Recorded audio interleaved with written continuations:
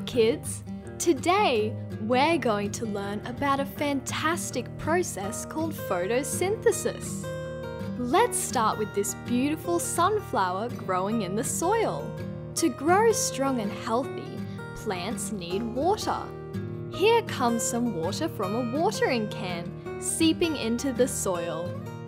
Now, let's take a closer look at the roots.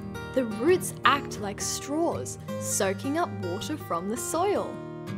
See those arrows? That's water entering the roots.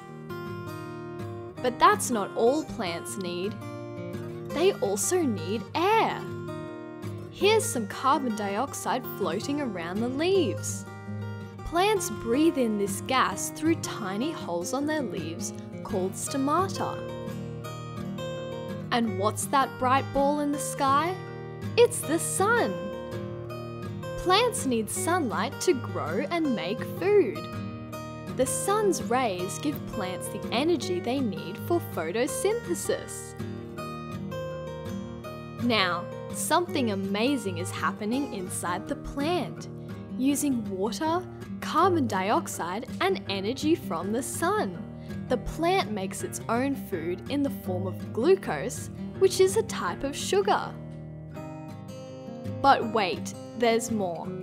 During photosynthesis, plants also produce oxygen, the gas that we need to breathe. See those arrows leaving the leaf? That's oxygen being released into the air.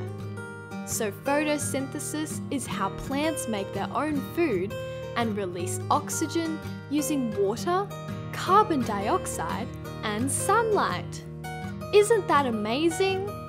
Now you know the secret behind how plants grow and help us breathe. Thanks for joining us on this fantastic journey. And remember, plants are truly magical.